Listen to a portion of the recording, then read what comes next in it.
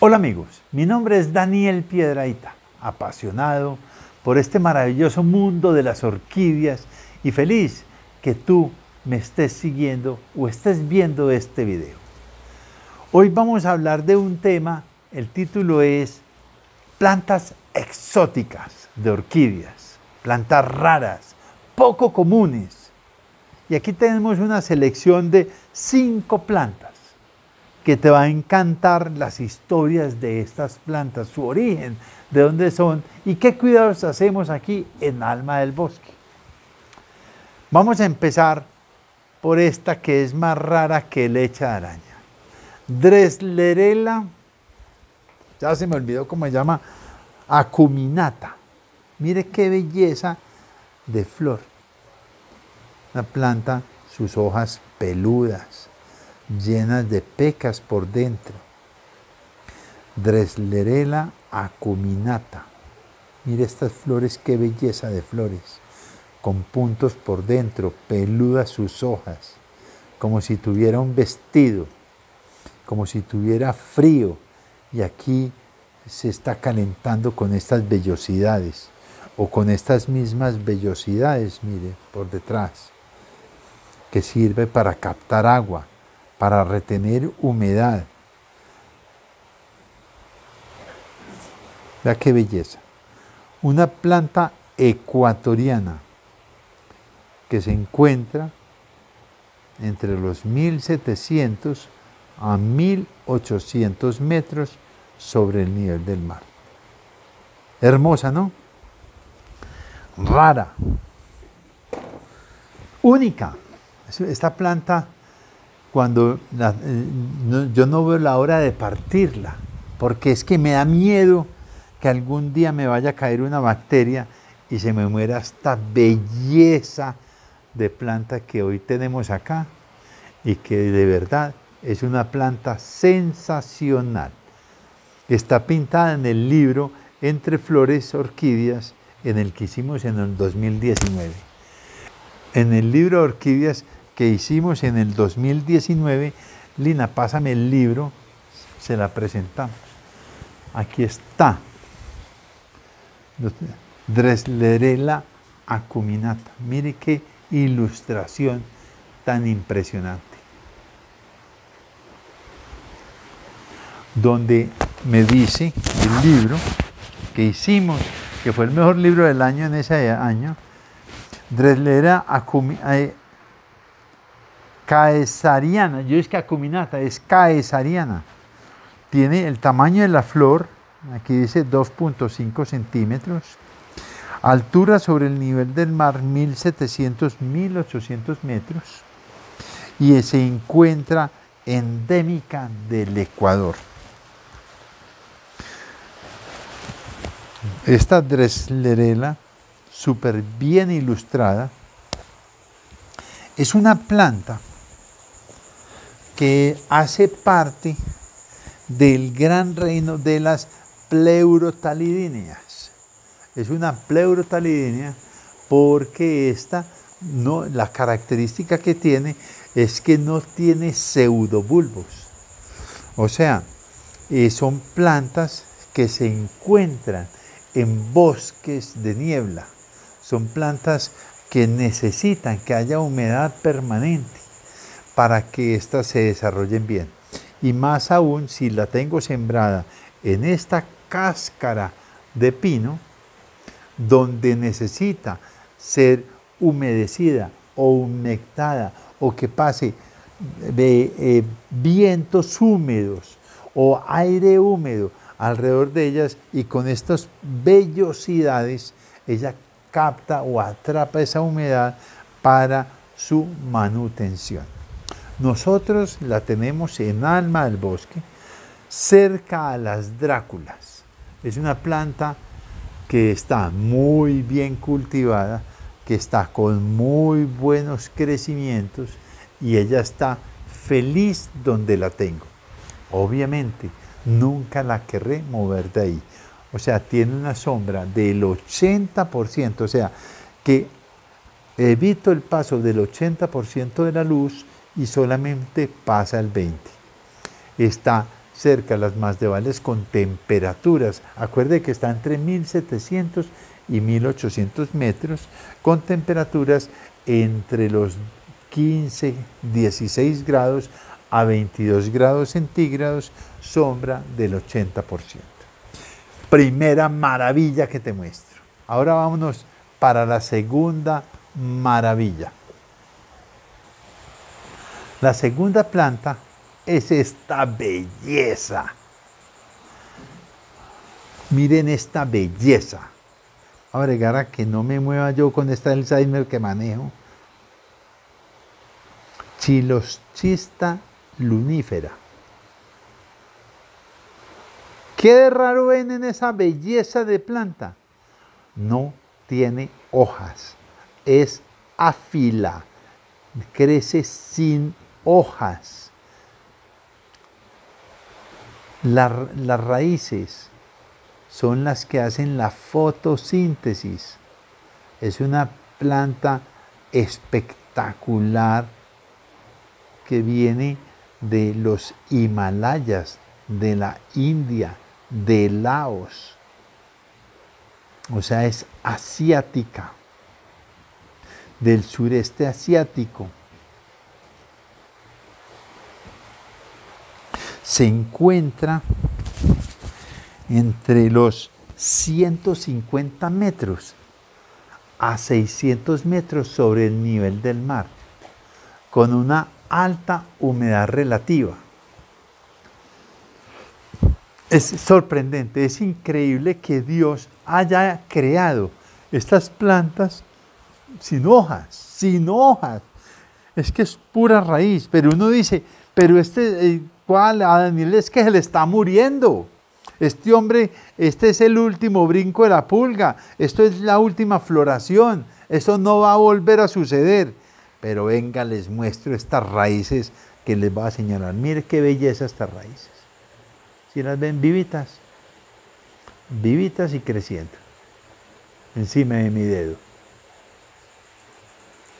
Está feliz. Esta planta está matada. Esta planta se ve crecer y está feliz con lo que le está pasando.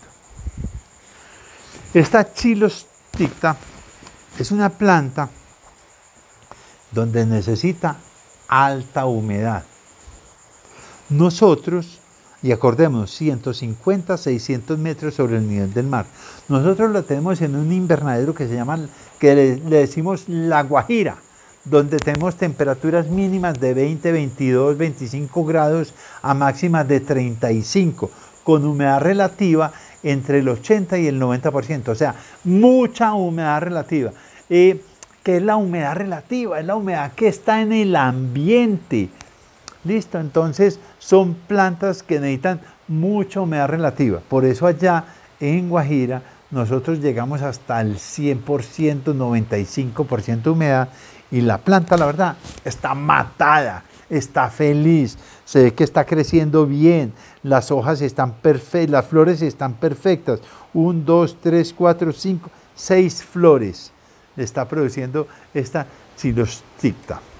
Es sensacional, se las quería mostrar porque de verdad para mí es una rareza ver plantas que no tengan hoja, eso es como lo normal y la costumbre, porque es que las necesitan las hojas para la fotosíntesis y esta planta hace la fotosíntesis por las raíces. ¿Correcto? Huele a esta hora no es fragante porque hay veces que huele a chocolate, puede oler a chocolate, pero eh, huele cuando el insecto polinizador va a venir a donde ella. Entonces, en este momento no tiene olor, puede que sea en la tarde que lo expela según las necesidades de la planta. Es espectacular. Bueno, ahora vamos a mirar la tercera planta que es este dendrobium casi azul. Dendrobium mingles zafir. Es muy raro los colores azules en la, en la, naturaleza. En las flores está, por ejemplo, en flores el agapanto, los delphinium son azules, los, las hortensias son azules. Entonces son colores muy raros. Este dendrobium es un híbrido que se llama, él se llama Mingles Zafir, que es un híbrido de dos plantas. Una que es el Victoriae y el otro es el Gonzalensis. Los dos son de Filipinas. El Victoriae se encuentra entre los 1.300 a 2.700 metros sobre el nivel del mar y se encuentra en bosques muy densos y llenos de musgo, o sea, mucha humedad y llenos de musgo. ¿Listo? Y el gonzalensis viene, está a, 8, a 830 metros sobre el nivel del mar y casi siempre se encuentra en los tallos de los zarros o helechos arbóreos. ¿Por qué es tan exótico esta planta? ¿Por qué me encanta? Porque la gran mayoría de sus, primero el color, ese color azul, azul morado, es más raro que leche araña. Estas medio rosadas que ven son flores o que están terminando, como estas, que están terminando, que están terminando, o apenas que están empezando. Pero la particularidad es de que casi todas florecen en cañas viejas que ya no tienen hojas. Ojo con eso. Eso es lo más raro también, no solamente el color, sino que esta planta sin hojas, esta varita o esta caña sin hojas, muchos de ustedes ya hubieran cortado esa cañita, porque esa caña ya dice que, ya no produce más, ya se envejeció. Y después me llaman y me dicen, Daniel, ¿por qué será que este Mingles Zafir no me florece? Pues resulta que nunca estas cañas sin hojas, nunca las cortemos, porque son fuente de donde van a estar todos los cojines florales y de ahí van a estar floreciendo toda la vida. Entonces, ¿qué noticia tengo de este Mingle Zafir? De aquí, aquí me creció este brote este, en este año, tuve un crecimiento, dos crecimientos y tres crecimientos y aquí viene un cuarto crecimiento. Entonces, ¿qué quiere decir esto? Que cada vez voy a tener planta con más ramas sin hojas para tener mayor cantidad de floraciones.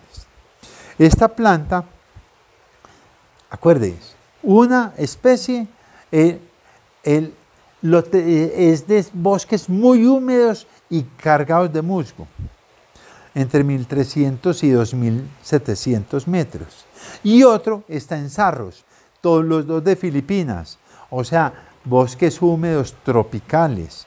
Entonces nosotros los tenemos acá en Alma del Bosque, en un lugar donde vamos a, estamos buscando humedades relativas altas entre el 70 y el 80, 90%, o sea, lo tenemos también en La Guajira para que allá con alta temperatura y con alta humedad tengamos desarrollos exponenciales. Entonces, aquí les quería mostrar esta belleza de Dendrobium Mingles Zafir para que lo tengan en sus colecciones y vean que también tenemos orquídeas azules, que es muy raro encontrar en la naturaleza. Ahora, la cuarta planta es este Pleurotalus scoparum. Ya se los había mostrado, pero es que yo creo, a mí me parece muy raro esta planta. Este Pleurotalis scoparum, que aquí tiene las flores, es de Colombia y Ecuador y está entre los 800 y 2200 metros sobre el nivel del mar. Pero usted me dicen, pero un pleurotalis, ¿qué de raro tiene ese pleurotalis? Vea, hombre, ¿cómo le parece que las flores nacen en la punta de la hoja? Mire esto en la punta de la hoja. Es como tener un ojo en la punta del dedo. ¿Ves?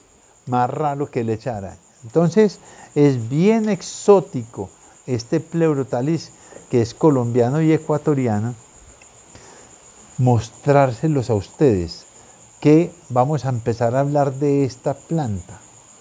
Primero, como es una pleurotalidínea, no tiene pleurotalis, no tiene pseudobulbos. Entonces, esto se encuentra en los bosques de niebla para que, ¿por qué? Porque como no tiene pseudobulbos, necesita que haya humedad permanente relativa en el hábitat para que ésta subsista. Primera, que es que uno viendo la morfología de la planta aprende mucho de ella. Entonces no tiene pseudobulbos, necesita humedades relativas altas para que subsista y porque no tiene dónde almacenar agua. Primera que todo. Segundo, los pleurotales es muy importante la hoja, la calidad de la hoja. Miren esa hoja. La calidad de la hoja es sana, perfecta, porque hace parte de la decoración de la planta. Entonces necesitamos sombra de un 80%, o sea, sombras bastante fuertes para que la planta tenga estos colores de hojas espectaculares. La otra ventaja que tienen las pleurotalis es que en una misma inflorescencia acá, miren que aquí yo les voy a cortar, les voy a cortar estos pelos secos, pero nunca se pueden cortar del todo. Se lo voy a cortar en esta más suavecito, miren. Miren esta, ya cuando me dices cuando ya la tenemos desenfocada. Vamos a cortar, estos pelitos ya habían florecido aquí. Este y este ya habían florecido. Y miren que aquí vienen dos flores nuevas saliendo. ¿Sí las ven? Dos flores nuevas. Entonces, siempre este pleurotalis va a florecer aquí. Esta es una hoja nueva. ¿Sí lo ves bien? Ahora vámonos para una más grandecita. Entonces, mire, yo le va, todos estos pelitos, ahí hubo flores. Entonces uno debe quitar todo esto. Obviamente con esta tijera desinfectada. Yo estoy tranquilo porque siempre que la utilizo estoy seguro que ya la había desinfectado. Le vamos a quitar esto y aquí viene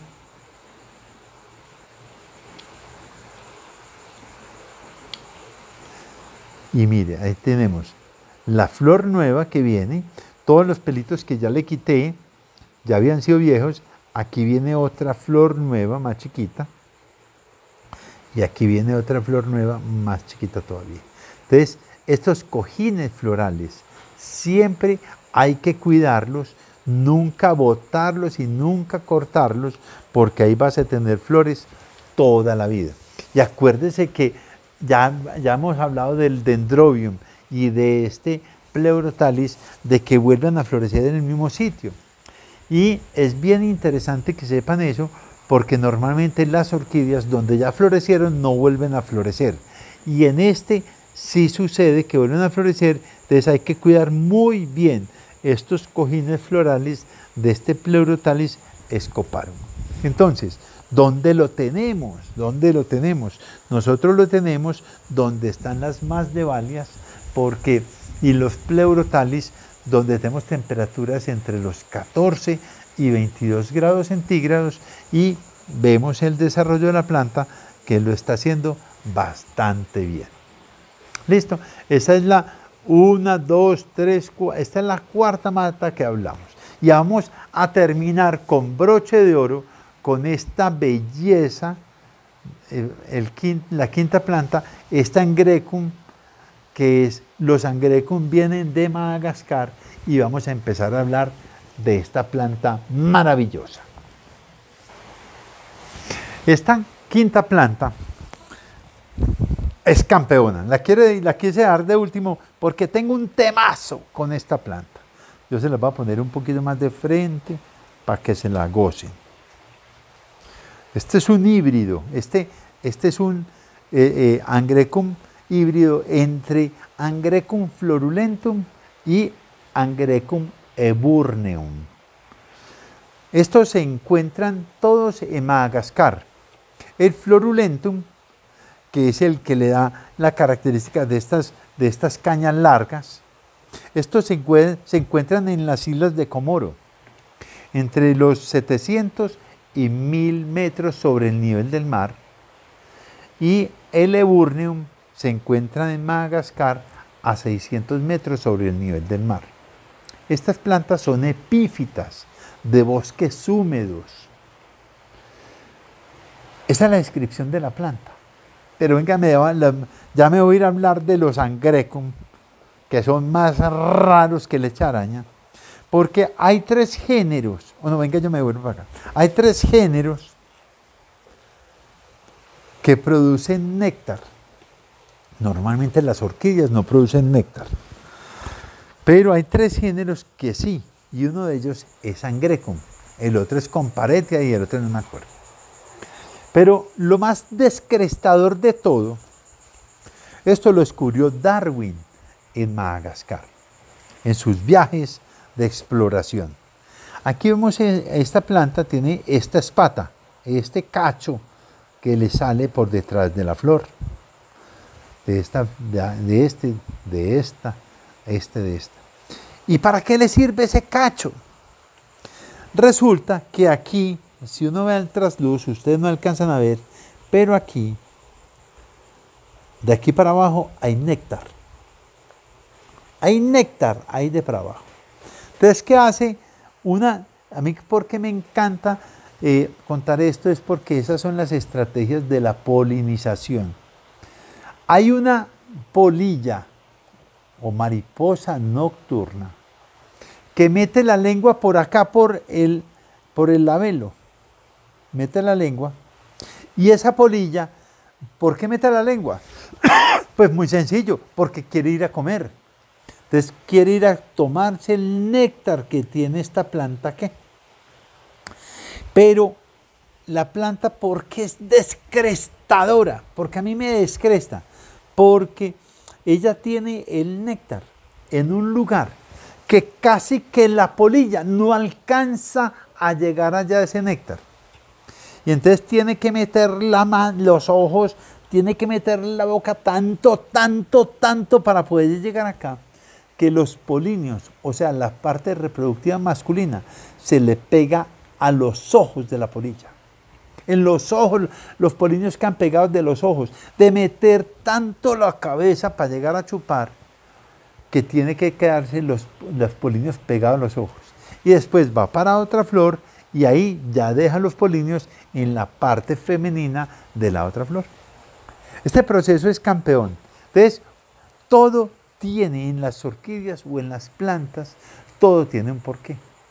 Y les cuento, porque son blancas, Angrecón yo no sé cuántas especies sean, creo que son como 60, de 60 a 80 especies, y son blancas.